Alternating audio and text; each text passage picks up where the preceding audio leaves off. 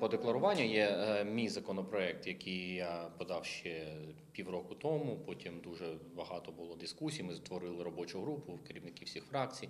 Вони надали пропозиції. Дуже багато пропозицій. Нам треба ці пропозиції потім було погоджувати з міжнародним валютним фондом, який зараз фактично фінансує нашу економіку. Е, Дуже багато е, пропозицій було відхилені.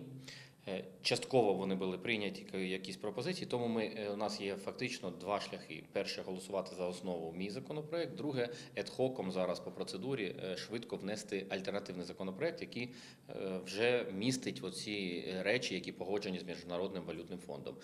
Я думаю, що підемо врешті-решт.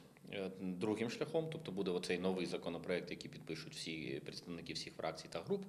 І е, вже найближчими днями будемо голосувати перше читання. Візьмемо його за основу. Далі вже допрацюємо. Я у нас є дедлайн до кінця серпня. Нам треба проголосувати вже в двох читаннях, тому що це одна з вимог е, по нашому європейському майбутньому.